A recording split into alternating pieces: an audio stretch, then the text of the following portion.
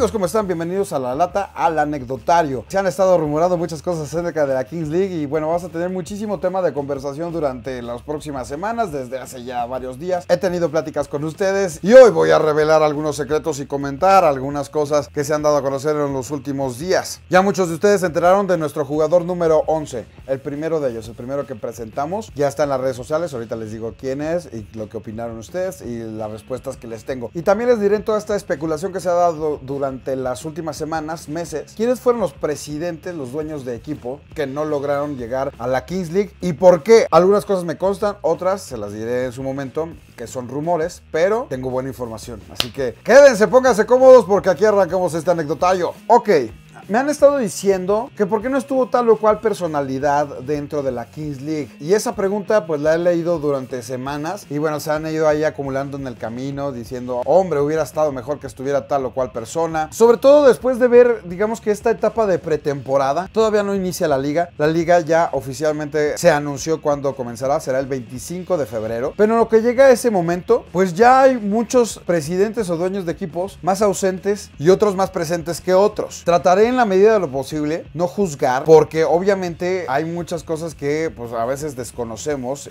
que ignoramos, que no sabemos por qué circunstancias se dé, porque obviamente todo el mundo andamos en chinga, pero vemos algunos que nos damos más tiempo que otros. Hay unos que no se han parado para nada en algunas juntas o en algunos chats, en el chat de presidentes, los entrenamientos de sus propios equipos ni siquiera se han asomado. Y bueno, pues cada quien, a lo mejor hay alguien que está entrenando gruesísimo y le está metiendo una producción brutal y a la mera hora en la cancha, pues van a valer madre. Y habrá quienes pues no se lo están tomando tan en serio y lo están tomando ahí nada más como un hobby, como eh, literalmente el partido que van a jugar los domingos y ya. Y resulta que la romperán. No lo sabemos. Eso se verá a partir de eh, esta última semana de febrero, pero la lógica te dice que si le inviertes en todo sentido, en nivel futbolístico, en recursos, en pasión, en esfuerzo, pues los frutos se verán reflejados en el marcador. Obviamente esto tiene que ver con un rollo geográfico, ¿no? Me llamó la atención que vino Jero y la novedad y lo que presumían los jugadores era, miren, tenemos la visita de nuestro presidente, qué chingón que vino. O sea, es la primera que se presenta un entrenamiento. ¿Por qué? Pues obviamente pues porque viven en Argentina, güey. No es tan fácil, él es padre de familia incluso, entonces no es tan fácil como ya trasladar su vida hasta acá, hasta la Ciudad de México durante eh, todas estas semanas de entrenamiento o de partido. Entonces para ellos es una novedad, ¿no? Constantemente voy a poner el ejemplo de lo que yo hago, de lo que hacemos en Peluche Caligari, pues porque obviamente es lo que me consta y ya saben que de eso se trata el anecdotario, de hablar de las cosas que me constan y de las cosas con las cuales puedo eh, platicar y compartir con ustedes. Entonces, en nuestro caso, nuestro compromiso ha sido total. Hemos tratado de estar involucrados en muchos sentidos, en conseguir la cancha, en llevar, desde llevarles las aguas, güey, ¿no? Que con lo que implica eso de todos los días estar atentos, obviamente, que no les falte nada. Ha sido un aprendizaje. Cada una de las personas que integramos este equipo, en todo sentido, en la parte de la cancha y fuera de la cancha, hemos tratado de coordinarnos y ha sido un aprendizaje constante para que estemos al tiro. Conseguimos una cancha poca madre en cuestión de las dimensiones, porque no ha sido fácil. O sea, dense cuenta, la cancha, si ustedes no lo saben, la cancha de la Kings League mide 60 metros por 40. Les estamos hablando de una cancha de Foot 7. Las canchas de Foot 7, por lo menos aquí en México, y yo creo que en todo el mundo, son mucho más pequeñas, güey. ¿Por qué? Porque el concepto de Foot 7 se inventó para los viejitos, güey, o para los que no se completaban, o para los que estaban retirados. El punto es que no se jugaba en campo grande de 11, sino se hizo una cancha mucho más pequeña. Entonces, las dimensiones, el esfuerzo y demás será menor. Entonces, quiere decir que, por ejemplo, algunas, algunas canchas de aquí de México, ¿no? En la que yo juego los domingos, esa mide 54 por 35. Ese visto que hay un equipo que está ahí en esa, en esa misma cancha, es mucho más limitada. O sea, que va de 54 metros por 35 contra 60 por 40. O sea, se están quedando 5 metros de cada lado cortos. Entonces aquí conseguimos una cancha, incluso es un poquito más grande que podría clasificar como Foot 9. Pero bueno, a nivel físico, a nivel de esfuerzo, a nivel de espacios que puedan estar utilizando los jugadores, creo que nos podría beneficiar ya a la hora de entrenar. Ustedes se preguntarán, ¿por qué no estamos entrenando en la cancha oficial? Porque la Kings League Américas es una franquicia de lo creado en España. Entonces tiene que estar por lo menos igual de Y yo sé que buscaron canchas por toda la Ciudad de México. Y mira que hay un chingo de canchas. Y adivinen qué, no encontraron ninguna. Ninguna que se adaptara a las necesidades para el montaje de producción, de transmisión, las gradas, los palcos, eh, todo lo que involucra tener una cancha a, a la altura de las expectativas. Entonces, ¿sabes qué hicieron? Estos cuates dijeron, vamos a construirla. Y están construyendo la cancha. Yo he sabido desde el año pasado las diferentes fechas en las que dijeron que se iba a estrenar en la Kings League, o sea, el primer partido. Sí lo han movido, pero de las últimas que dijeron, obviamente es la del 25 de febrero, sin embargo no lo habían dicho públicamente. Entonces, para mí, después de saber que la habían movido un par de veces eh, esa fecha de inicio, pues tenía que ver obviamente con que llegaran a la fecha estipulada y que si había algún pedo, pues eh, cambiarían la fecha internamente del primer partido. Aquí ya se chingaron porque ya lo dijeron a nivel público y ya se comprometieron que el 25 de febrero va a estar lista. Y de hecho ya empezaron a repartir los horarios para los entrenamientos dentro de la cancha. Tendremos un par de oportunidades para usar la cancha durante la semana cuando no son partidos oficiales. Y entonces, bueno, ya, en ese momento pues será un entrenamiento mucho mejor porque ya tendremos claro, tanto los jugadores y todos los involucrados, cómo serán las medidas para jugar y competir en esa cancha que va a estar bien chingona. Me han enseñado algunas imágenes, algunos renders. Se ve impresionante. Tuve la oportunidad de ir hace poquito y vi el trabajo en obra negra, más bien obra blanca porque tiene ahí este, varias cosas. Porque imagínense todo lo que involucra crear una cancha de este estilo. El las gradas, el montaje que debe de tener, el domo. Me estoy riendo porque yo le calculé, dije, no mames, güey, o sea, si yo jugara aquí, si yo un día juego aquí, pues a huevo le voy a pegar al techo, güey, en un, en un despeje. A mí se me hizo que no está tan alta como debería. Pero también son parte de las condiciones de una cancha de este estilo. A diferencia de los grandes estadios del mundo super tecnológicos que son techados, que tienen una altura cerda, pues aquí es un, es un domo, es, es, una cancha techada y tiene una altura limitada. Ya veremos qué tantos accidentes ocurren a la hora de estar jugando, porque si es que le vuelan, pues tal vez le pegan al techo y eso por lo menos en las canchas que yo he jugado con techo y pasa eso, se reanuda con un bote a tierra o con un tiro ahí libre indirecto a la altura donde haya pegado del techo, ponerla ahí en el pasto. Volviendo al tema de la ausencia de los presidentes, por ejemplo, los colombianos, a ver, una de las grandes figuras que tiene esta liga es James Rodríguez. Es el presidente de uno de los equipos, pero James no ha podido venir porque James es un jugador en activo. Entonces tiene entrenamientos y tiene compromisos con su equipo allí en Brasil. Sin embargo, pues eso hace que la presencia del presidente de los parceros se anula. Ha estado conectado unas dos o tres veces como en, en este streaming y de repente habla. Ya conocimos, creo que una vez conocimos la voz de James Rodríguez, pero pocas veces más se le ha escuchado. Pero también comparte la presidencia con Pelicanger y eh, pues tampoco ha venido mucho. Este vino obviamente la presentación oficial y se ha conectado también un par de veces, pero por ejemplo para el draft fueron los únicos que no vinieron, güey. Eso está raro, güey. Por lo menos a mí así así es como lo sentí. Todo el mundo hizo el esfuerzo. A ver, hay gente de Chile, de Argentina, de Puerto Rico, de Estados Unidos, o sea, obviamente los mexicanos aquí estuvimos todos. Y vuelvo a lo mismo, todos tenemos trabajo. Y es un poquito el concepto de que varios de los equipos tengan dos presidentes. Si no puede uno, pues debería de poder el otro. Entonces, pues así te vas este, repartiendo la chamba. Ellos no vinieron. Y ustedes se preguntarán, ok, ¿y por qué no escogieron a otras opciones que tuvieran aquí mucho más cerca? Pues porque el concepto de Kings League Américas fue concebido para que fuera un, una liga multinacional. A diferencia, por ejemplo, de lo que sucede en España, donde casi todos, la mayor parte, el 80%, viven allá. Entonces es mucho más fácil tenerlos juntos. Acá va a ser todo un rollo porque se echaron la bronca de decir, ok, esto va a ser de todo el continente americano y entonces agarraron a gente de diferentes países. Eso hace que se limite la participación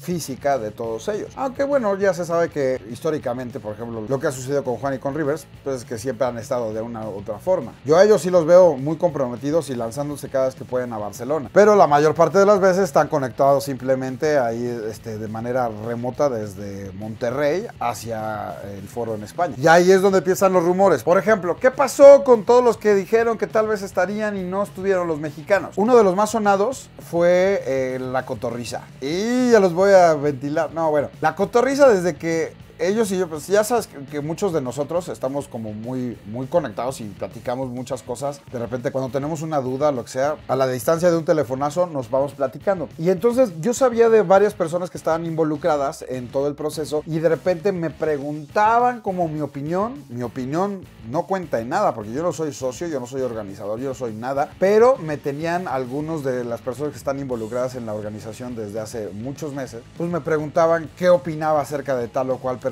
para ser parte de esto. Inclusive me preguntaban cuando ni siquiera yo estaba seguro. Entonces me costaba medio trabajo así de, híjole, no mames, pues pedo, güey, yo voy a confiar en el mundo y voy a estar abriendo la boca además diciendo quién me gusta y quién no me gusta y quién este, sí podría hacerlo, con el riesgo de que de repente me dijeran, ah, pues tú no, güey, mejor le vamos a decir al otro. El punto es que salió el tema de la cotorriza, platiqué con Slobo un par de ocasiones y estaban bien prendidos, pero ojo, los presidentes que se involucran en un pedo de, este, de, este, de esta magnitud es porque le quieren dar realmente prioridad en su vida a este proyecto. Y en el caso de la cotorriza, o sea, si hay estandoperos exitosos actualmente son Ricardo y Slow. Entonces tienen un chingo de chamba. Y la chamba siempre se está planeando, por ejemplo, los shows desde meses antes. Un año antes estás ya planchando lo que vas a hacer durante el próximo año, desde enero hasta diciembre. Y entonces ellos ya tenían muy claro lo que, lo que iban a hacer, los días en que iban a hacer shows y demás. Entonces, pues imagínense el problema que eso implica. ¿Por qué? Pues porque los shows de comedia siempre son en el fin de semana. Y bueno, con esta técnica de dos presidentes, pues bueno, uno, si no puede uno,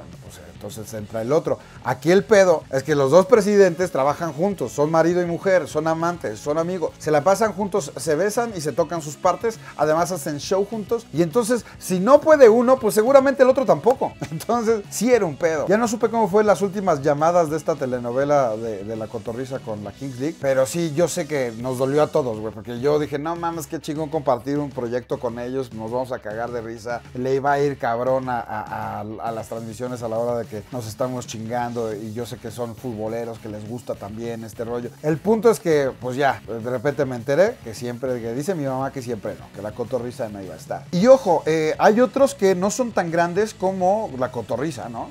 Y, y como otros este, presidentes que, que, son gigantes en la plataforma, eh, en cualquiera de ellas, en las plataformas digitales. Pero eso, que les puedo platicar? Otra pequeña anécdota. Cuando fui a Barcelona a platicar con, con Piqué, eh, estuvimos grabando lo del escorpión al volante, pero también me dio ahí una, una vuelta por Cosmo y me platicaba y, y, hablábamos sobre la Kings League Américas. Todavía, pues todavía estaba como muy en pañales, aún no estaban definidas muchas cosas. Yo estaba en pláticas, pero no tenía definido tampoco, no había firmado nada. No este, teníamos ya la certeza de que yo iba a estar. Pero me preguntaba de algunos personajes, me preguntaba de algunos creadores, Piqué, y aunque eso el mundo digital, pues obviamente no, no, no estaba tan empapado de todos los personajes por acá, ¿no? Entonces yo le decía, ok, eh, ese que me mencionas es muy futbolero no tiene tanta audiencia, pero le sabe cabrón al foot y otros. No mames, estos güeyes son villameloncísimos. Este güey es villameloncísimo, está chavo súper villamelón. No tiene ni puta idea del fútbol, pero le gusta ir de repente a los mundiales. Le gusta ir de repente a alguna cosa de, este estilo. Y su contenido principal no es fútbol, pero su audiencia es gigantesca. Y después de platicar todos estos, como eh, esta, estas dos grandes opciones entre los que les gusta mucho el fútbol y entre los que tenían mucha gente, recuerdo que Piqué me dijo, que él prefería, por lo menos en ese momento, estoy hablando hace meses de distancia, que prefería gente que supiera del proyecto, de gente que le encantara el fútbol, gente que se fuera a comprometer, más allá de que tuvieran una audiencia gigantesca y que tuvieran millones y millones y trillones de seguidores. Entonces, como que esa era la prioridad, por lo menos en ellos, ¿no? Saber que había personas que les encantaba este proyecto y que se iban a comprometer con todo. Y si bien es cierto, llegaron muchos, muchos... Eh, creadores y muchos presidentes que era como lógico por el tipo de contenido que hacían, con el caso de los futbolitos que, que ya se habían involucrado en la Kings League de allá de, de, de España, con el caso de Castro, que es un, un, cuate que está dedicado a mucho rollo de videojuegos y sobre todo de fútbol, como el caso de tal vez de Germán, que pues también tenía mucha relación con la gente de España y que pues es uno de las grandes leyendas en el mundo digital. Desde la época que llegó YouTube y así algunos nombres eran como muy lógicos, pero otros se convirtieron en una sorpresa. A mí, por ejemplo, de los que me sorprendieron, aunque no es como que nunca se habían escuchado dentro de los rumores de los posibles presidentes, eran eh, Alana y Barca. ¿Por qué me sorprendió? No por ellos, sino porque no estuvieron otros. Alana y Barca, pues también tienen mucha relación pues, con todo este mundo eh, de streaming y, los hemos visto colaborar con muchos streamers eh, en los últimos años, en los últimos meses. Y sin embargo, yo sabía, por lo menos de lo que había platicado con ellos, que existían otros regios con interés de que estuvieran en la Kings League. Tanto interés de la liga como interés de ellos. Pero vuelvo a lo mismo. Aquí sí son rumores, los que voy a decir, los nombres que voy a decir, son rumores totales, ¿eh? Pero que tienen que ver con el mismo caso de lo que sucedió con Cotorriza. Se habló de hacer un ensamble regiomontano que incluyera a Adrián Marcelo, que incluyera, no sé si juntos o separados, Franco Escamilla, que incluyera a La Mole, que incluyera... ¡No mames! Se los estoy diciendo y se les está haciendo agua a la boca, ¿sí o no?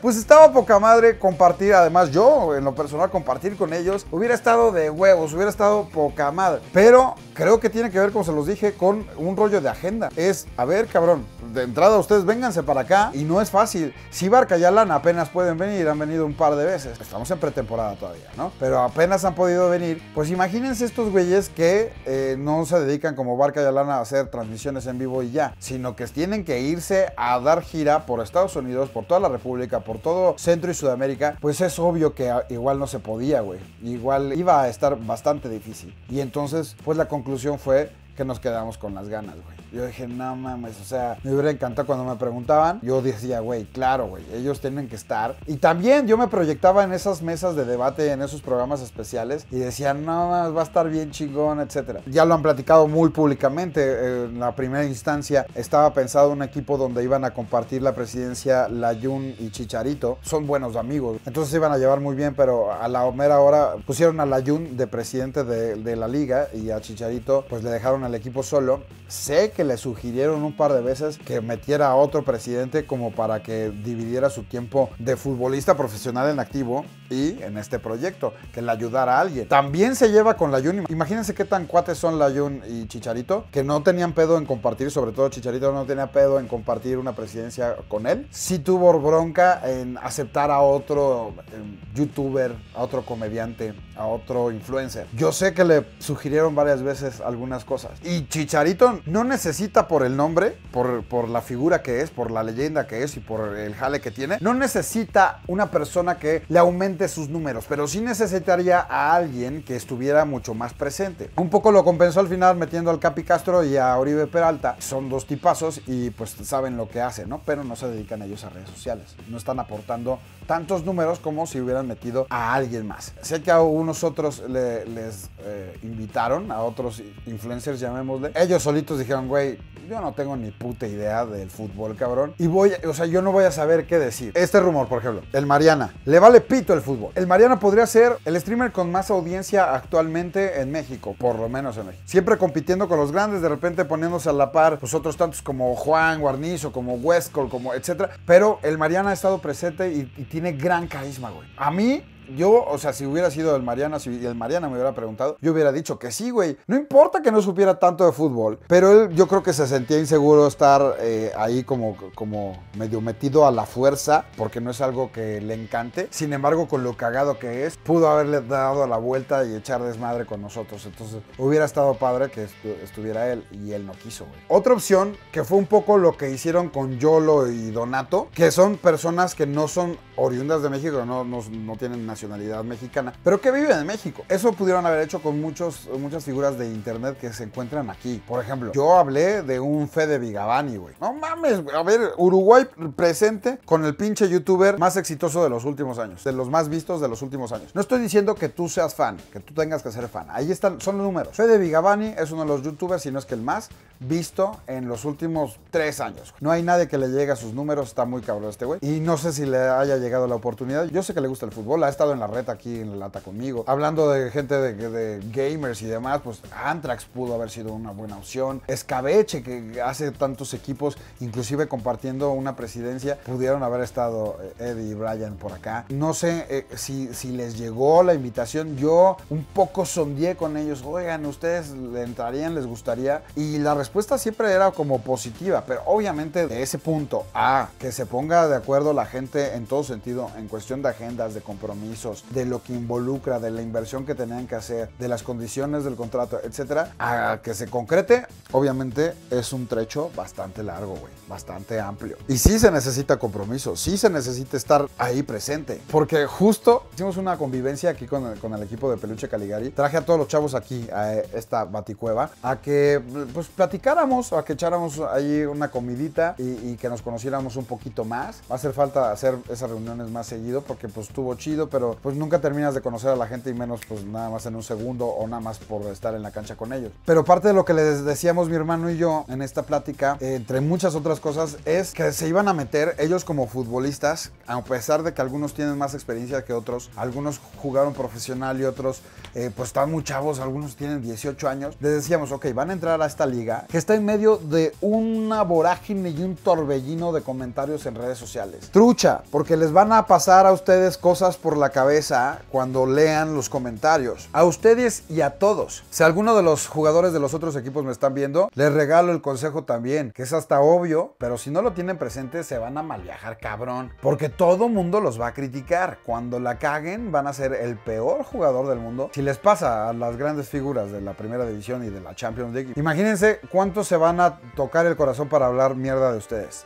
ni poquito. Entonces les van a dar con todo, güey. Les van a insultar y les van a decir. Y a lo mejor pueden ustedes engancharse o pueden deprimirse en su casa a solas o lo que sea. O pues eh, tener una madurez eh, express emocional para decir, güey, me vale madres, sigo adelante. Pues cada quien pondrá a prueba eh, la técnica que quiera hacer y la actitud que quiera tomar. Nosotros a nuestros jugadores pues les dijimos eso, güey. Y dicho y hecho, cabrón. O sea, después de que salieron todos estos jugadores que tienen el privilegio de la duda porque no son tan conocidos, estos 10 primeros jugadores. En su mayoría, esos 10 de cada equipo no son conocidos. Hay algunas excepciones. Pero si de por sí a ellos les tocó también que les tiraran desde su liga de origen o desde su ciudad de origen, pues bueno, ahora imagínense lo que les va a tocar vivir aquí no va a estar fácil. Ahora, también faltan los jugadores 11, 12 y 13, que han sido también muy, pues, muy criticados, que, que si se robaron un jugador de España, que si viene y que se hizo la polémica, ya lo platicamos en su momento, y que algunos te muestran eh, los jugadores, que cada quien, dependiendo de su nacionalidad, pone a su jugador franquicia, a su jugador 11 o 12. Esos jugadores, para no dar las cosas entendidos, son los jugadores que tú puedes traer de la nada, o sea, porque tú quieres. Y pueden ser unas grandes estrellas, conocidos o desconocidos, pero tú sabes que te van a apoyar al equipo. Y entonces algunos venden a su jugador como una pistola, como una leyenda de su liga, de su país. Pero la verdad es que gran parte de esos jugadores no son conocidos. Entonces de repente los venden como, uy, qué chingones son. Y, y pues no los conocemos por lo menos los que no somos de ese país. Nosotros ya anunciamos que vamos a tener por lo menos cuatro de esos. Cuatro jugadores 11 y 12. O sea, cuatro jugadores franquicia que meteremos. Y esos jugadores franquicia se los platico aquí entre compas, pues la mitad van a ser famosos y la mitad no van a ser tan famosos. Pero sabemos que son una pistola. Eso sí, no hay duda, güey. Entonces nosotros vamos a tratar de reforzar a nuestro equipo lo mejor posible. Y así fue con Lozoya. Fue el primero que se dio a conocer, que se ha dado a conocer hasta ahora, es nuestro jugador 11. Y él estuvo en los tryouts esos que hicimos nosotros internos en Peluche Caligari. Pero también había metido su inscripción para los tryouts de la Kings League. Y obviamente destacó cabrón. Fue uno de los más más chingones de toda la liga. Nada más así de sencillo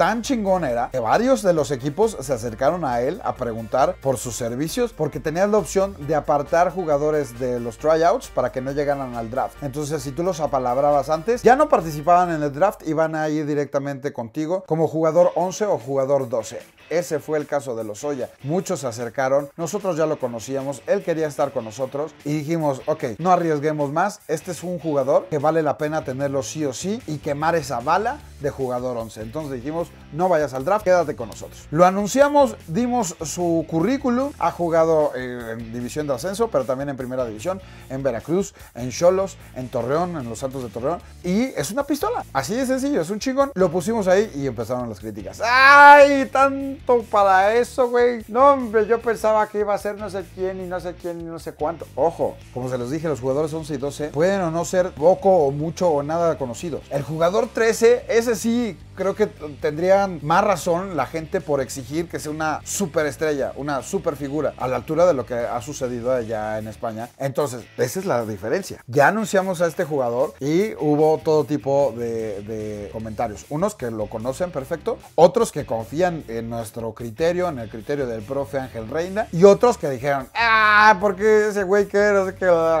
es zurdo, ¿cuántos zurdos hay? Es una chingonería.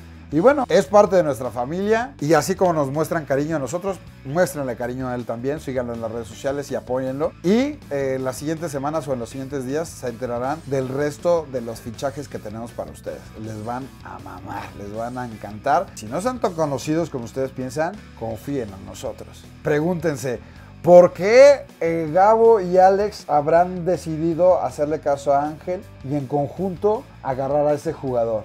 Y no agarrar a otro. Algo de tener, güey. Ya la historia será la encargada de juzgarnos y decirnos si nos equivocamos o si acertamos. Pero entre tanto, ténganos confianza y apoyen con todo al peluche Caligari. Aquí tengo otra parte de la lista de la gente que este, platiqué o sabía que tal vez existía esas posibilidades. Alzó la voz, por ejemplo, Iván Full, creo que en algún, algún, este, alguna publicación o algo así dijo, yo quiero. Pues es un cuate que se dedica mucho al fútbol, no sé por qué no llegó al final del día. Entonces es más como youtuber, como que trataban de buscar ese equilibrio para no irse al extremo. Porque si bien allá en España la gran mayoría son streamers, lo que no querían que sucediera aquí era ni que la gran mayoría fueran streamers, ni que la gran mayoría fueran nada más youtubers, sino que hubiera de todo tipo de, gente, inclusive TikTokers como el caso de Mercedes Roa. Entonces, pues bueno, no quedó ahí. Eh, muchos me han preguntado de Fede Lobo. Fede no sabe ni madres de fútbol. Ajá, pero pregúntenle al Pelusa. Ese sí está muy cabrón. Y el Pelusa forma parte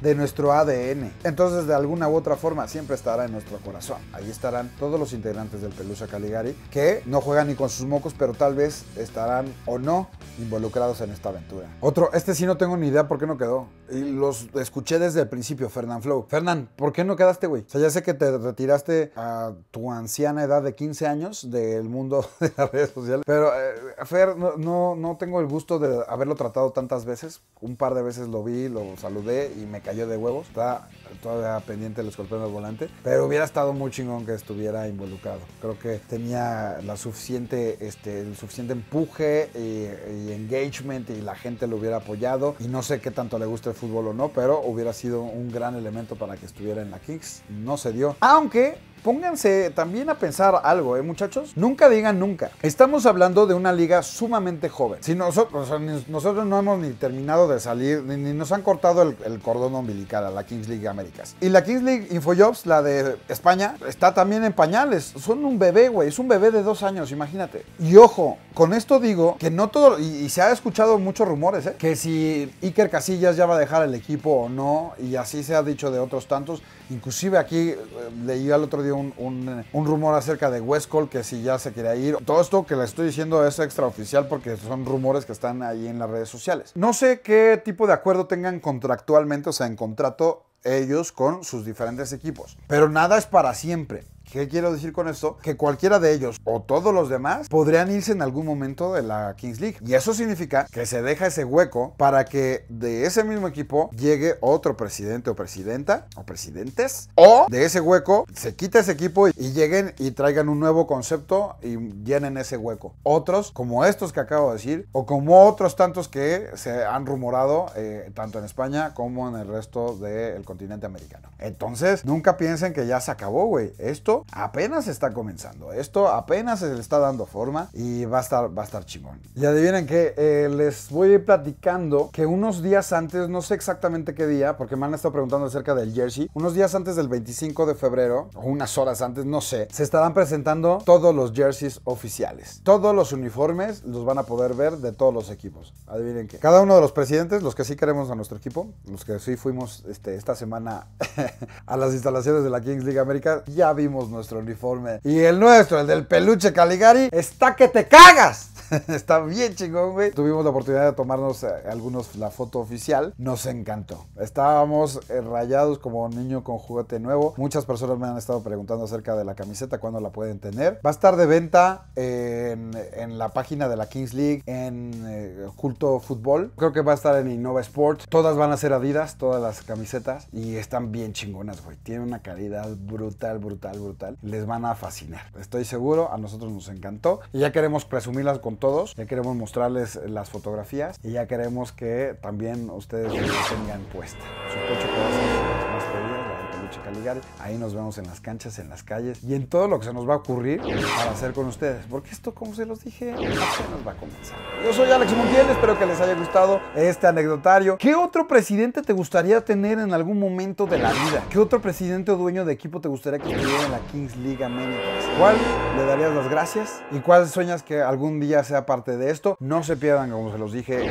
los anuncios oficiales del resto de los jugadores, del resto de la familia del Peluche Caligari. Y síganme en las redes sociales y sigan todas las redes sociales del Peluche Caligari para que se enteren específicamente de la parte de fútbol, si es que son súper fan. Y obviamente, pues con todo lo que involucra los contenidos que estamos haciendo en todos nuestros canales hermanos. Mientras tanto, vámonos que aquí espantan. Yo soy Alex Montiel, pasan chido. Suscríbanse y nos vemos en el cine. Y en la cancha también. Bye.